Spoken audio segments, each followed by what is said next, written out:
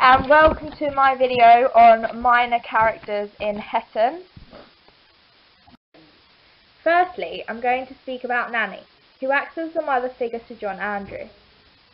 After John Andrew falls from his pony at the beginning, we get a repeated foreshadowing of the fatal and tragic riding accident that is to come.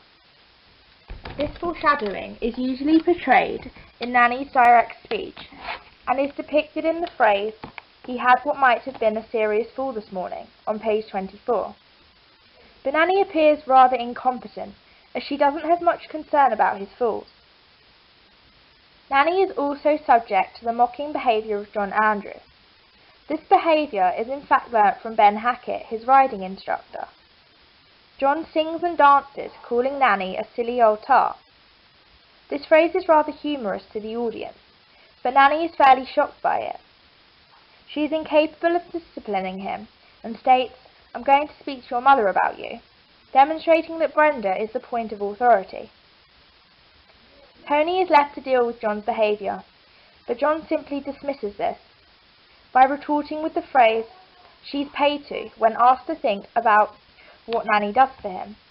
This highlights the lack of relationship between Nanny and John, in comparison to the bond he has formed with Ben. So now we're going to move on to Ben Hackett. He mostly looks after John and John looks up to him an awful lot more than he does to Tony. Phrases such as silly old tart and I just opened my legs and cut an arser appear in John's vocabulary directly as a result of his contact with Ben. This is highlighted by Nanny, who states that it's been the same ever since Ben Hackett started teaching him. Ben Hackett is primarily used by Waugh to demonstrate class divisions. John fails to understand the machinations of class. John asks rather innocently, is Ben less fortunate than me? illustrating his lack of awareness of the lower class, and somewhat comes across as rather condescending towards those who are in fact less fortunate. He fails to comprehend his parents' concern of his growing relationship with Ben. John replaces Tony as his father figure with Ben. When speaking to Tony, John repeatedly brings up the entertaining times with Ben and states with enthusiasm phrases such as Ben says so and Ben saw a woman who looked like a fish.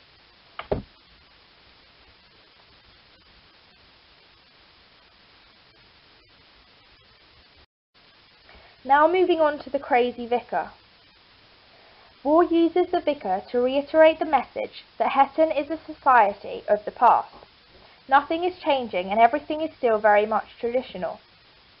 The vicar is inappropriate for the time in which he is living.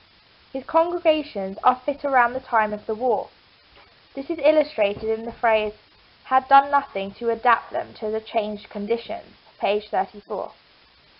Waugh describes to us that he has served in India, Warren most probably decides to use this phrase because he is showing that people of Hetton adhere to the past, much like the vicar who was clinging to when England was an imperialist nation.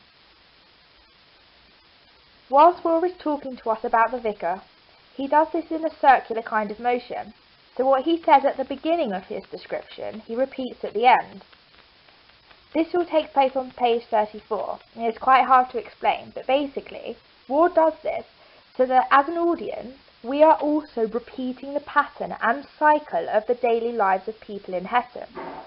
Waugh is forcing us to become part of the congregation, so that we are also living in a past and unchanged repetitive state.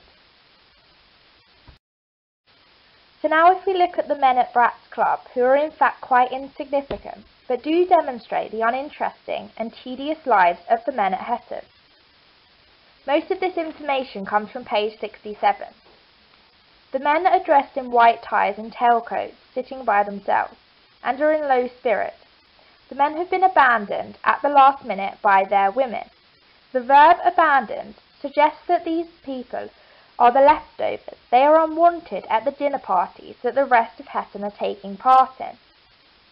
The possessive pronoun there is quite ironic because even though they feel that they have some kind of ownership over the women, these women are in fact leaving them and moving on because they are actually capable of doing this.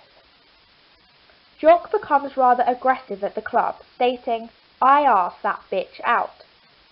This aggression is as a result of the rejection from women. The men are all sitting by themselves. The lack of connection between them implies that these men prefer to be isolated, possibly because they are now used to being on their own, as it's some kind of habit. Two women, Babs and Millie, appear at Brat's.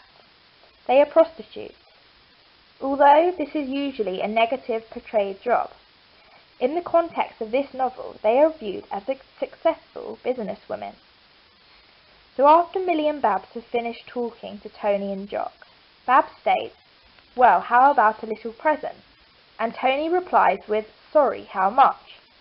This conveys the capitalist ability of women and links to Mrs. Beaver, another successful businesswoman. Paradoxically, both women are all, both women are also portrayed as intelligent prostitutes. Babs says, I think it's nice for a girl to be interested in, in things. I like gentlemen best. They've got more to say.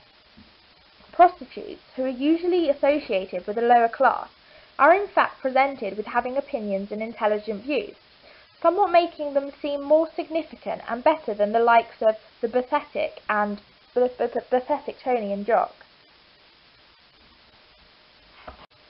Other minor characters are Veronica, Daisy, and Polly.